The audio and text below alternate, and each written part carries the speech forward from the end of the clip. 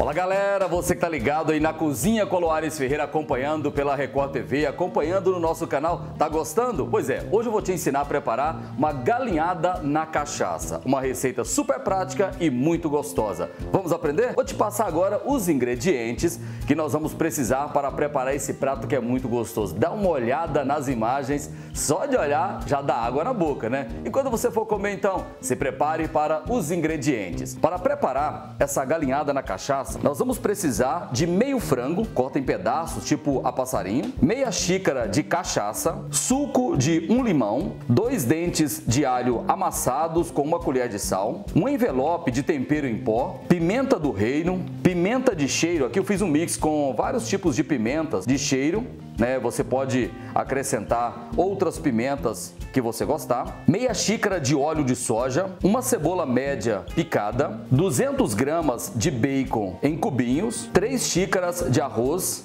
você pode usar o arroz integral, pode usar o arroz comum, uma colher de açafrão, que é um tempero típico goiano que a gente adora, um tomate maduro picado, uma cenoura ralada, uma latinha de milho verde, meia xícara de azeitonas fatiadas, meia xícara de palmito e meio pimentão vermelho em cubinho. Esses são os ingredientes. Além disso, eu acrescentei também um tablete, um cubo aqui de caldo de galinha para a gente dar um sabor todo especial para esse prato.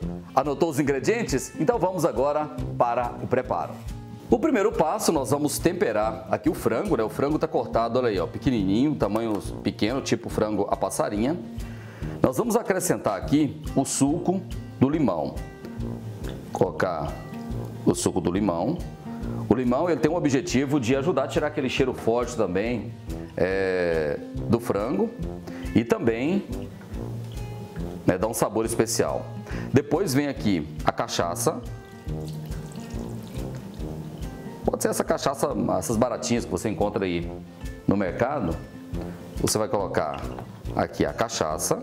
Você vai vir com o tempero, aqui no caso o alho e o sal. E aí nós vamos misturar o tempero aqui no frango. Eu estou fazendo aqui de meio frango porque rende bem.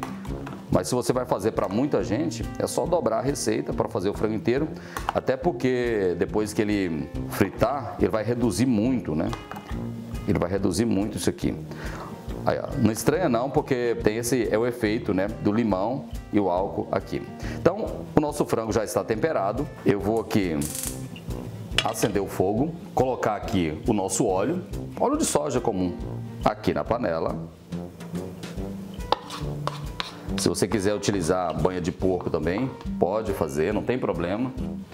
Se você quiser usar um óleo de coco, que é um óleo mais fit, pode ficar à vontade. Agora nós vamos esperar aqui o óleo dar uma aquecida. Bom, o óleo já está aquecido. Agora eu vou colocar aqui o frango.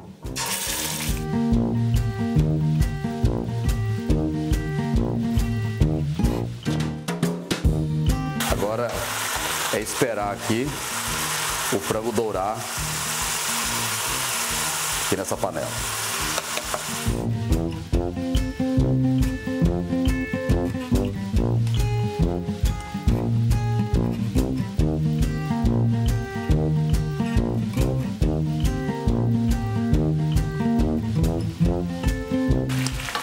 E aqui já está quase bom, esperar só dourar mais um pouquinho o frango, né? Ele já desidratou, já está começando a dourar. Aqui, ó, tá quase no ponto a gente ir para o próximo passo, que é acrescentar o bacon para fritar junto aqui, ó. Agora que o frango já está dourado aqui, ó, eu vou acrescentar o bacon. E quanto mais carne tiver nesse bacon, mais gostoso vai ficar isso aqui. Ó. Então nós vamos colocar o bacon aqui. E enquanto o bacon vai fritando aqui, ó, o frango vai dourando ainda mais.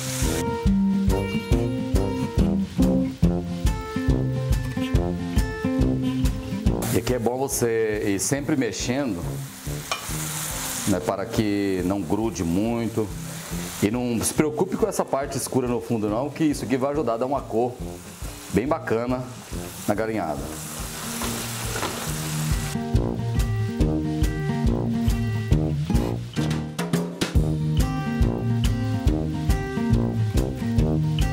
Bom, e aqui já está quase dourado, quase pronto, né? A gente vai esperar só fritar mais um pouquinho para sair todo o excesso de manteiga aqui do bacon.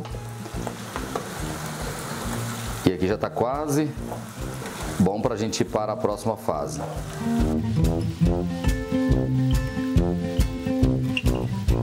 Bom, e aqui então eu vou tirar o excesso dessa manteiga aqui do bacon para que não fique muito gordurosa a nossa galinhada. Aí deixa só um pouquinho aqui, já é suficiente. Então, aqui ficou o frango e o bacon aqui bem fritinhos aqui. Bom, aqui né, já tirei o excesso de gordura, vou colocar o nosso açafrão, que vai dar não só um sabor, mas uma cor bem especial à nossa galinhada.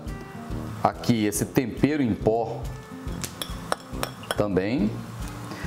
E aqui você tem que tomar um certo cuidado com sal, né? Como a gente, é, eu não sei como é que tá o sal, eu vou colocar só metade aqui do caldo de galinha, porque ele já vem salgado também. Então vou colocar só metade e depois a gente vai observando aqui o sal. Agora, nessa sequência, eu vou colocar a cebola.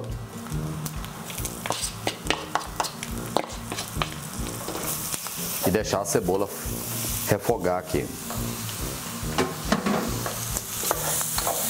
Eu já venho com o pimentão. Se você gostar de pimentão verde, pode colocar o verde. Eu acho o pimentão verde indigesto. Então, eu prefiro aqui o vermelho ou o amarelo. Né? O pimentão verde ele é bem digesto. Agora na sequência eu venho com a cenoura ralada. Se você quiser pode colocar em cubinhos também. Eu prefiro assim ela ralada, mas você pode colocar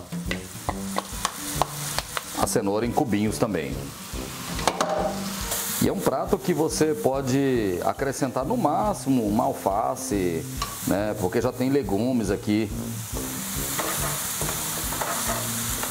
Aqui eu vou com o palmito, azeitonas, na sequência o milho, milho verde.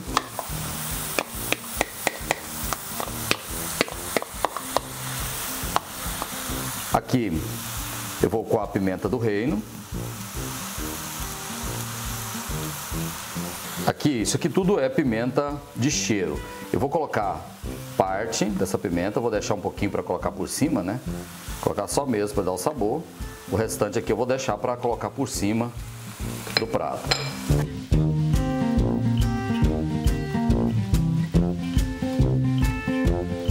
Por último aqui você coloca o tomate. Por que o tomate por último? Ele vai soltar água. Então se você colocasse antes, iria, né? Não ia ter uma combinação legal. Então por último aqui vem o tomate.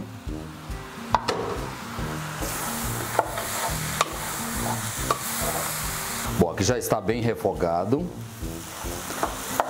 E enquanto a gente está concluindo aqui essa parte, eu já coloquei uma água para esquentar aqui, porque é bom você colocar água quente, que aí vai realmente cozinhar e vai ficar melhor ainda, né? Aqui nós vamos fazer um teste para saber como é que está o sal, se a gente vai colocar o restante do caldo ou não. Aqui é o teste do sal.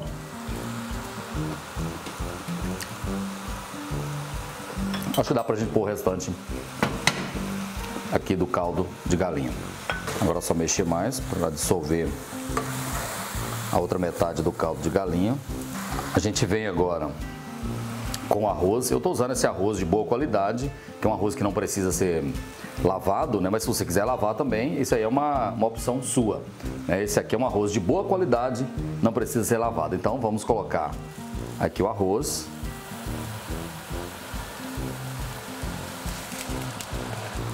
mexer. Bom, então aqui nós já vamos com a nossa água quente. Olha o que, que vai virar isso aqui. A gente mexe para a água entrar bem aqui. Aí vem uma dúvida muito comum sobre a questão da quantidade de água. Eu começo com um média de dois dedos de água acima aqui do nosso arroz. E aí é só tampar e esperar cozinhar. Bom, o cheirinho tá bom, a cara tá boa, tá bem colorido. Vamos tampar a panela e esperar alguns minutinhos para cozinhar nossa galinhada na cachaça. Vamos aguardar agora. Bem, agora, né, o nosso prato já está preparado, já está pronto. Vou desligar o fogo, porque já está cozidinho. Olha a fumacinha aqui, ó, tá muito bom. Agora é só a gente experimentar e ver se realmente ficou tão gostoso quanto está com esse cheirinho aqui maravilhoso.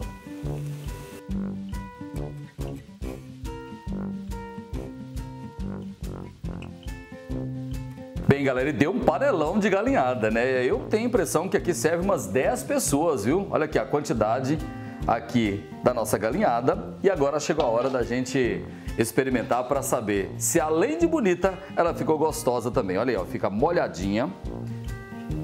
Fica muito legal. Vou experimentar aqui o tempero do arroz primeiro. Ficou bom, viu? Ficou muito bom.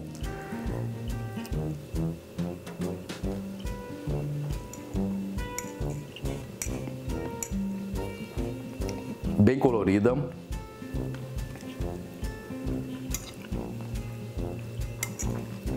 Você vai adorar esse prato, viu? Faz aí, ó. Tenho certeza que sua família e seus convidados vão adorar essa galinhada na cachaça. Muito boa, muito boa. Valeu, galera. Essa receita que você está acompanhando aqui no Balanço Geral vai ser postada lá no meu canal Na Cozinha Coloares Ferreira no YouTube. Continue nos acompanhando. Até a próxima receita. Valeu!